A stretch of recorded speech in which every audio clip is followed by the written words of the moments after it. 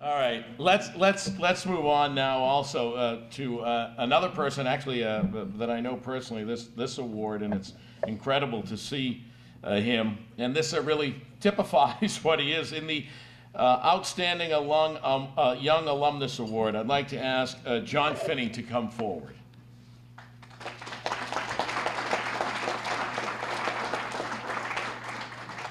Good evening, everybody. Got a pose for my picture here.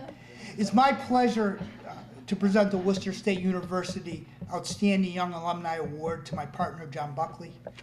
John's been very active uh, with a wide range of activities over the years with Worcester State. While he was um, on campus, he served on the Board of Trustees, you know, as a student representative. Um, He was active in a number of student organizations.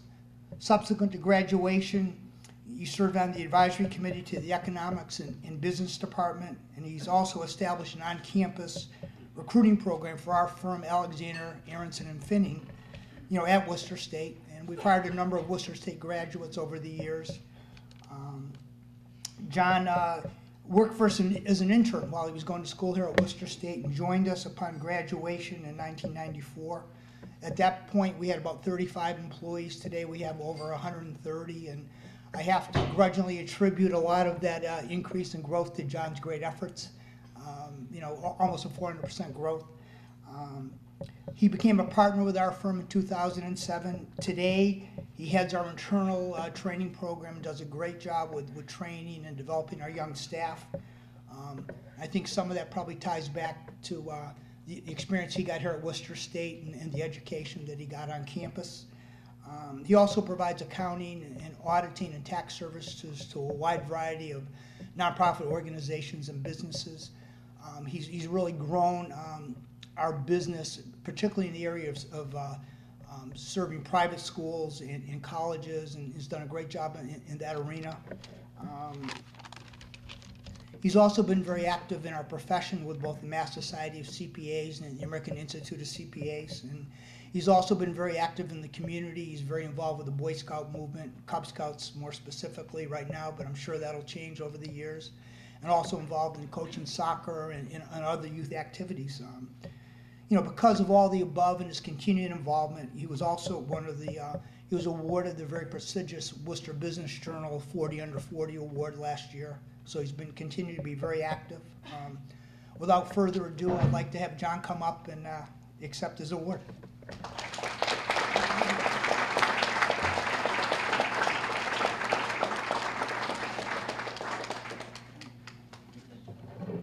First, I have to thank Tara. Uh, As Jack mentioned, I got the uh, 40 Under 40 Business Award last year. And uh, I I walked up at Mechanics Hall, and up on a big, huge screen was my picture, and it had to have been the worst picture that I've ever taken in my entire life. So thank you for uh, getting a good picture. Um, but first, I'd like to thank my partner, uh, and my business partner, Joy Child, uh, who, nomin- who nominated me for this award. Uh, you know, unfortunately, Joy couldn't be here tonight. Uh, she's uh, for medical reasons, but my thoughts are with her, and thank you. Uh, I'd also like to thank the alumni board for this award, uh, and finally my family, uh, and my, especially Jack and Juliana, uh, and my whole family for this award, um, as well as my friends that came out uh, tonight and coworkers uh, to support me, and my family who has supported me through the years. Um, and especially, you know, I want to thank my parents who have supported me, you know, through my entire career, both helping pushing me in the direction of going to college and through my career. Uh, uh, I'd like to reflect a little bit um, on my days at Worcester State in my career, uh, you know, uh, subsequent to Worcester State. As a senior in high school, I had to decide what I was going to do with my life, like most of us, when we graduate. Uh, and after working at CVS for a long time, uh, I, I said, okay, well, I'm going to become a pharmacist. I think that uh, that would be good. And that was the day, you know, so I, I got accepted to Mass College of Pharmacy, and that was the days before Worcester State had an affiliation with Mass College of Pharmacy. Uh, so I said, okay, I'll go to Worcester, I'll go to Mass College of Pharmacy and become a pharmacist. I looked at the, uh, the, the, the fees of Mass College of Pharmacy, and I said, you know what? Instead of a five-year program at Mass College of Pharmacy, I'm going to take some of my general classes at Worcester State um, or, or a state school and, and get some of those courses out, and then I'll transfer in. Uh, so after visiting all of the state schools, I came to Worcester State and I said, okay, Worcester State's really where I want to be, and this is where I should be. Uh, it was the right fit for me. I started my career at Worcester State and I decided to take a few business classes uh, uh, as, as electives. Uh, my first accounting class was with Dr. Stefanini, who's here tonight, uh, in you know Dr. Stefanini, who later became my advisor.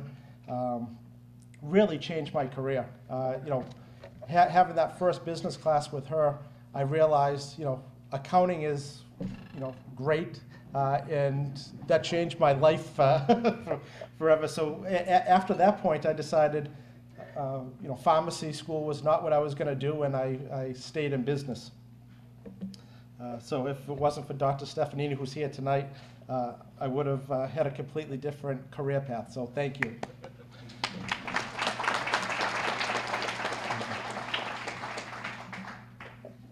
As I continued my days at Worcester State, I became very active in the college and made it my home.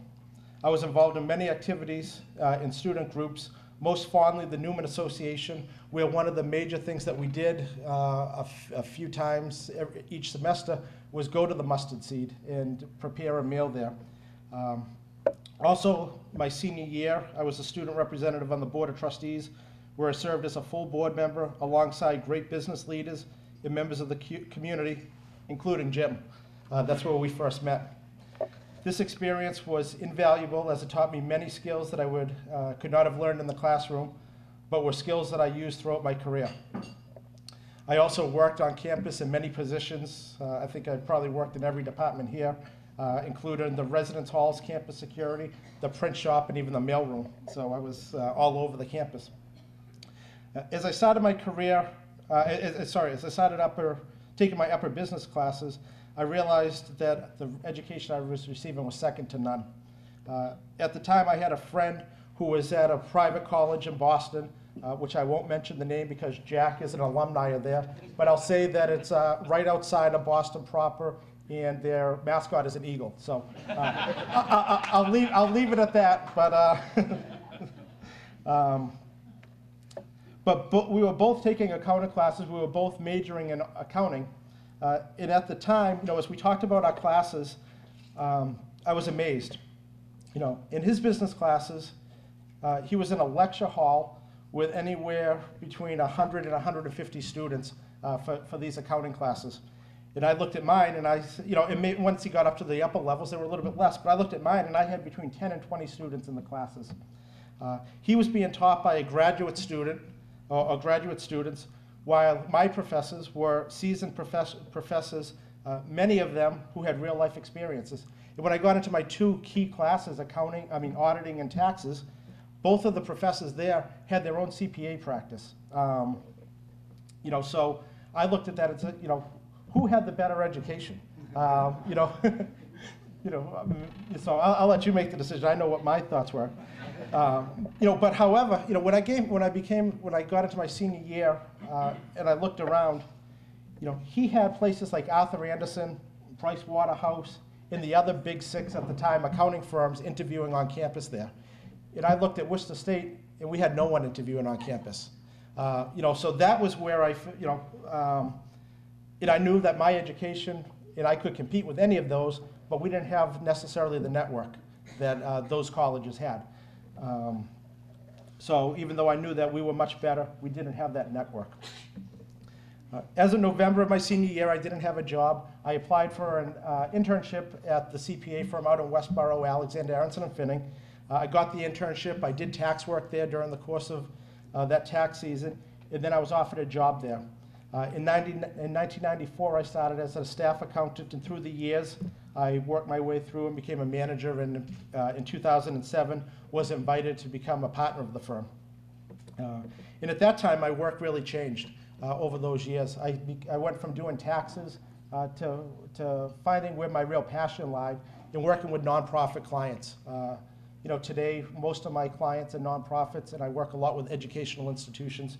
I can, you know, my, uh, you know, I feel uh, very good about my career when I look at that, and I realize that uh, when I can look at an organization and I can help them save money, uh, you know, through our recommendations and help the, that nonprofit put money back into the community opposed to, uh, you know, and save money, you know, that really makes our, um, you know, makes me feel like I made the right career choice. About eight or nine years ago, I was in a posi- position within the AAF to have some influence over our recruiting. Uh, at that point, uh, with the help of a few professors, I began our on-campus recruiting program uh, from AAF on campus at Worcester State. Uh, so now every year in October, I spend a day uh, interviewing seniors uh, at Worcester State for accounting positions. And we're very proud of our history with, with Worcester State. Over the year, the past probably eight years, we've hired 16 graduates of Worcester State. Uh, and currently today, we have nine, uh, sorry, eight people on staff that are Worcester State graduates. So uh, we're very proud of our involvement with the, with the college. Uh, And then during those days, I also get to stop in at Dr. Stefanini's class, and, uh, you know, she gives me the opportunity to talk a little bit. Um, But in closing, I, I just want to tell a quick story um, and give a challenge to our alumni.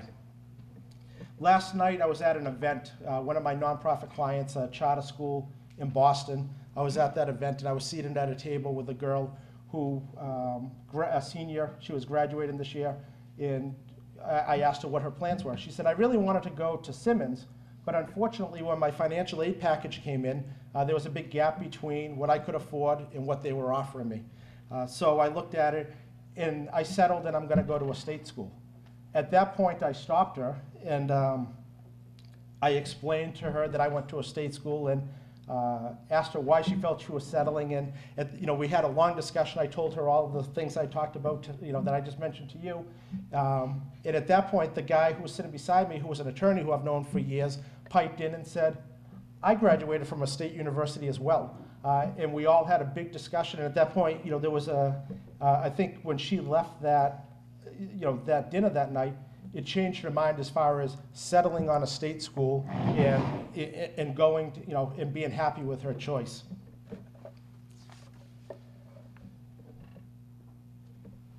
So at this, you know, at this point, um, you know, what I would do, uh, you know, I want to challenge the alumni here and, and everyone from Worcester State to really stand up and be proud of the fact, and I think that this is probably preaching to the choir, choir but be proud of the fact that you have a state education. Um, be proud of the fact that you went to a state school. I think that our education is second to none. I want to thank the uh, professors that I had here. Um, and then also challenge the alumni to form that network that the uh, big private schools have. Um, hire fellow alumni, uh, buy services and products from alumni, and really form that network. And I have to say, Tom uh, McNamara and his group has done a great job with the college in really elevating that from the days back in the early 90s to where it is today. But uh, again, I would challenge the, the alumni to really do that um, and to be proud of the school. So I accept this, uh, this award with pride. Thank you.